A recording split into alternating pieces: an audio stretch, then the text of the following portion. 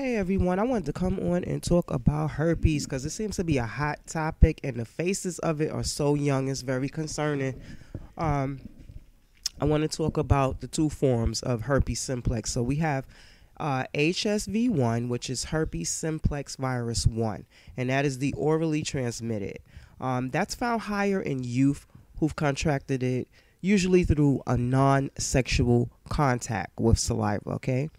And um, some examples of that, I was I just made up my own, like pacifiers. A lot of times you have little kids, you might have a pacifier, you might just transfer over to another kid without thinking, just snatch it out of one's mouth to shut up the other one. Um, kissing your children in the mouth, other people kissing your children in the mouth, toothbrushes, sharing drinks. I hate that get a, um i encourage all parents and you have young children i know you just want to give them something to drink but try to keep little cups on you so you can just pour it you know individually because we all have our own different type of body chemistry going on inside and it's not something you want to really be mixing okay? Even though they're siblings it's not something you want to mix. Stop kissing your kids in the mouth. You know what that mouth do.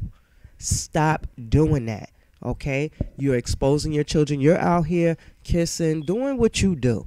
And you don't need to be sharing them type of germs with your children. That's what cheeks are for. I love cheeks. I love fat cheeks. Kiss cheeks all day long. Um, I understand, you know, this is your child. You want to show love. But like I said, you know what that mouth do. So do not, um, I would eh, advise parents to refrain from kissing your children in the mouth. You know, especially if you know you've been out there. Like that's not something you might want to be doing. You know, and especially if you have herpes. Because you have people who have herpes and they will they want to show love to your children, but if you really want to show love to your children, don't kiss them in the mouth. Start right there. Okay?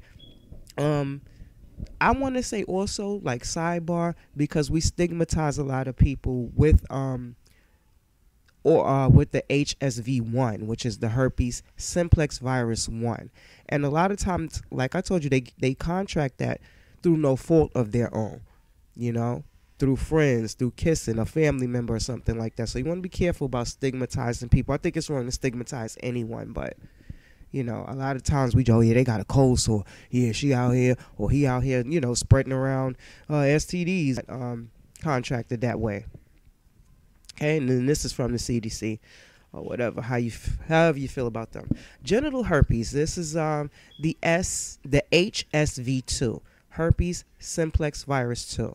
Okay, here is where the skin to skin contact comes in. This is the uh, sexual way to obtain herpes.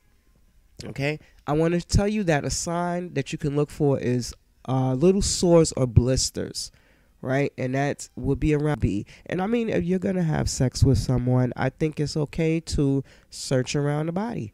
You know, you're gonna be intimate anyway, right? So it's no nothing wrong with searching and looking and feeling around and asking some questions or whatever. If you have herpes and you are going through a flare up, and I I've never had I don't have herpes, I've never had any STDs, thank God.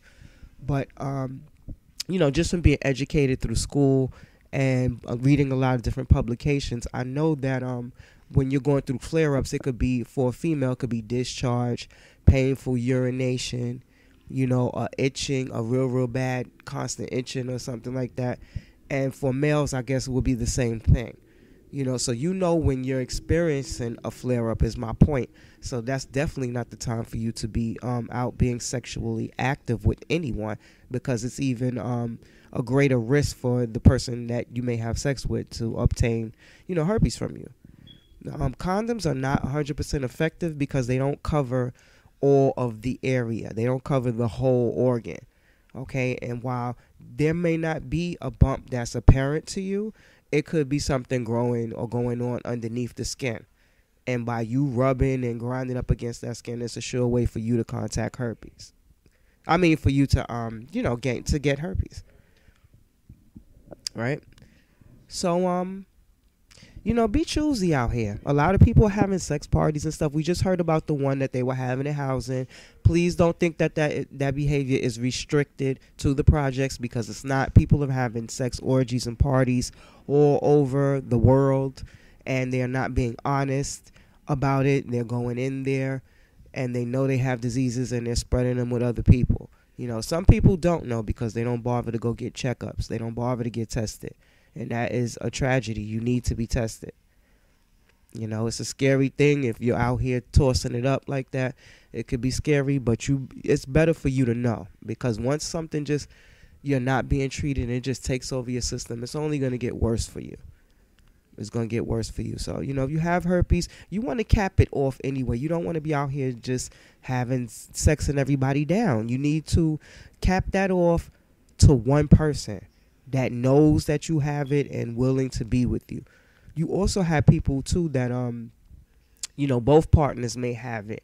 And that could be a little tricky and scary too for me, eh, you know, to my understanding because I'm like isn't that creating um, a stronger strand of the virus. I would think that, you know, because they both have it and, you know, sometimes people are using protection, sometimes not, is that building a stronger strand that, um, you know, medication won't be able to, you know, treat the symptoms for. And then what do you do?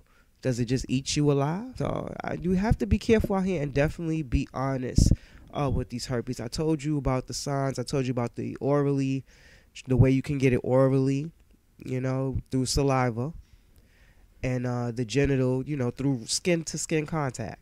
You know, looking for sores, looking for cuts, looking for bruises, asking questions, getting tested, asking that person when the last time they were tested is very important because this disease is incurable. It's not something that you're going to go to the doctor and get a shot for. Like once you obtain herpes, it's just like having HIV or AIDS. It's like that's what you got for life in your blood you know and if you have it it's your responsibility to let people know and to um, reduce the contact you have as far as like um you know with saliva and things like that reduce that dental dam for the guys dental dam and nobody should feel offended about being safe dental dam is good you know and you want to do it use the dental dam it's okay some people like to use um saran wrap or whatever. But you know, dental dam if it is it's just as good. But if you feel more safer with saran wrap, get saran wrap. You can cover more area with saran wrap.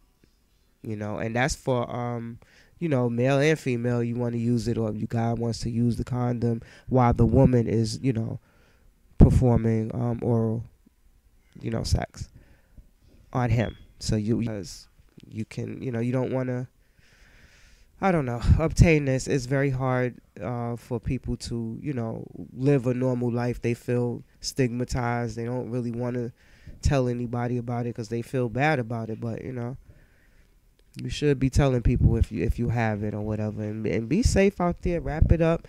Don't be mixing chemistries up with people. Get a I hate. I always hated that. Like I had to have a cup do not pass me the bottle and everybody's chemistry is all up in the bottle. I I hate I hated to see people do that.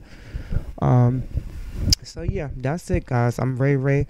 I like to spread awareness through the conversation in hopes that it sparks change and I'm out.